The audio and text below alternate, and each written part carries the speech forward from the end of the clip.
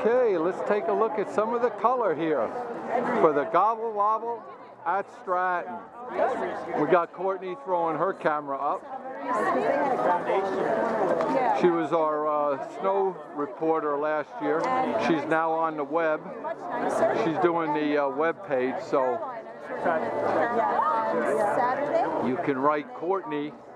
If you go on the uh, Stratton website, they've got a little information page so you can make sure you uh, vote. Uh, It's just a nice place. type in some of your information and, and where you got gone and what you liked and what you didn't like. So, and then do me a favor, stop by Ski Haus, get tuned, get fitted, and then bull your way all the way up to Stratton.